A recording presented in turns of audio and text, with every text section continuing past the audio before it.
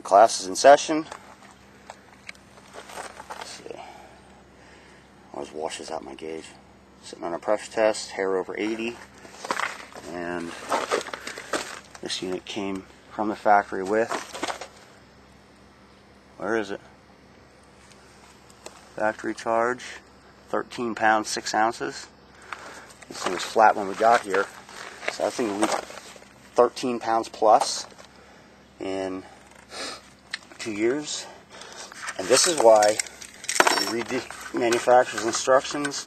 This is why after you open the valve, put the cap on it, and you torque it because it's not a perfect seal. That's what the cap is for. And it will leak like a sieve.